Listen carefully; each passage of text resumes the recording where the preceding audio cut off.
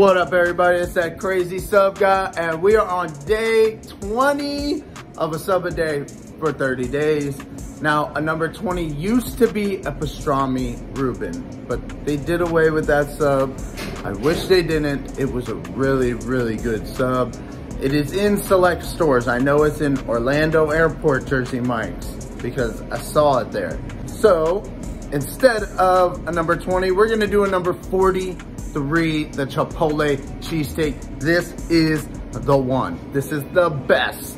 I highly recommend this one. This is my favorite. The Chipotle mayo is amazing. Enough talk, let's get to it. Starting off with our bread. We're gonna butterfly this bad boy and throw him on the grill. So Chipotle cheesesteak, grilled onions, grilled sweet peppers, and our sliced ribeye steak. Oh yeah, listen to it, the sizzle. So this is just like a Philly cheese steak with the addition of Chipotle mayo. The Chipotle mayo, when you think of Chipotle, you think like spicy, but it's not spicy. It's more of a sweet, smoky flavor that the Chipotle mayo has. This comes with three slices of American cheese. We'll get that ready. This is one of the most used sauces in my stores.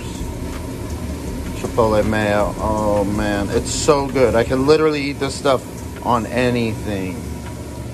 So it's literally just a mayonnaise infused with chipotle peppers.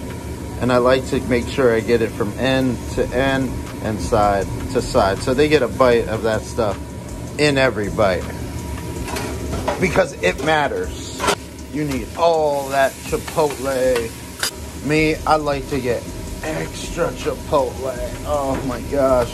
I'm telling you, this stuff is in my top three sauces in the world.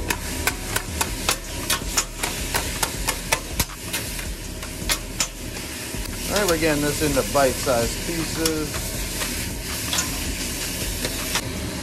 And we'll cheese it up. Let's get our paper ready. And our bag popped. Oh yeah, look how fast the cheese melts. That's how you know you're gonna have a juicy cheese steak. We're gonna make a transfer.